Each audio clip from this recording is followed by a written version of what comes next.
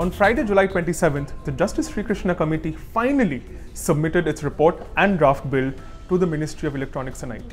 Now, India is the country with the second largest number of internet users, and yet we don't have a data protection framework, which is why this was a very big deal. The Supreme Court last year in the right to privacy judgment emphasized the need for data protection.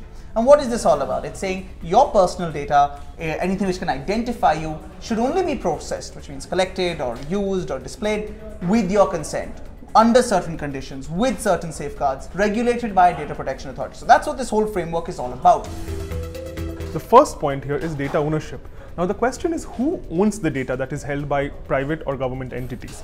Now that is uh, a question that we were hoping for the draft bill to answer firmly in the favor of users, but, but that sadly hasn't happened. Now, personal data is supposed to be processed only with consent. Sensitive personal data, including your sexual orientation, financial data, etc., all of that can only be processed with explicit consent. Unless you're the government, which can process your data uh, without your consent if it relates to a function of the state. Now this can be anything whether it's some any sort of function of parliament or of a state legislature and expressly includes things like providing services, providing benefits, uh, giving issuing of licenses. In all these circumstances, the state can just sort of look at your data, process it without your consent. So obviously this raises large questions for uh, state-sanctioned surveillance. And speaking of surveillance, data localization. Now data localization is problematic for two reasons. First, as we mentioned, surveillance.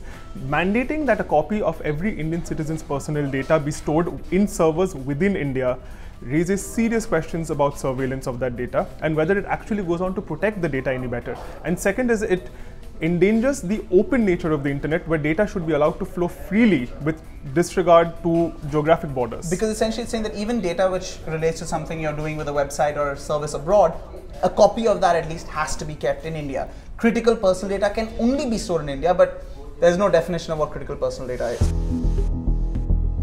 And when it comes to surveillance reform, there's also other issues here. Now, the government uh, has a power under Section 98 of this Act to give directions to the Data Protection Authority on the basis of security of the state wide sweeping things. Could be anything. And they can ask the data protection authority to process data give it data anything of the sort. There's powers for doing this when it comes to uh, investigation of offenses pro uh, prosecution of offenses prevention of offenses. And all of this now while it tenuously has is supposed to you know fall within the framework which the right to privacy judgment set out it's a bit dodgy because the government currently has a lot of powers in surveillance, especially under existing rules which are extremely archaic and antiquated, like the, uh, the, the, the, IT Act and the, and the Telegraph Act of all things.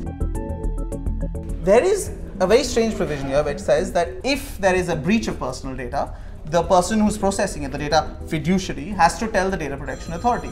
But there is no obligation for anyone to tell you, the person whose data has been stolen. Exactly. So breach uh, notification is an important aspect of any strong uh, privacy and data protection framework. But breach data notification is something that again has slipped through the cracks. Another big question, Aadhaar, Sushovan. What does this do for that? So with regards to the Aadhaar, uh, the draft bill says that it is important to protect the Aadhaar number, but in doing so, it ignores the entire class of other data that makes up this Aadhaar ecosystem. So it is much much more important, especially in the light of so many Aadhaar leaks and data breaches that we have been reading about, to protect all the classes of data in the Aadhaar ecosystem. So one of the entire points behind this act was trying to get that data protected, and it doesn't seem to be doing that. In fact, by making this carve out for government processing of data for service services and welfare benefits, it's actually, again, perhaps even strengthening the government's ability to pick up your Aadhaar data and, and use it. Um, they want to amend the RTI Act here, according to the, the, the committee. They want to amend it to say that, look, we're going to have a very strict test on the basis of which personal information can be revealed even under the RTI, even if it's a public figure like the Prime Minister or someone. So you have to check harm to the person versus the public interest. Whereas earlier it used to just be, is there public interest? Is it an unwarranted uh, intrusion into privacy? This concept of harm, not quite defined. So we're not surprised that the bill has so many problems. Uh, to understand that better, three important points of how the Srikrishna committee itself has functioned. First, lack of civil society participation. Now, the committee itself has been uh, filled with members of the government or people who have worked closely with the government. Including the UIDAI CEO. So, I mean, they're the Aadhaar guys and they're on the committee.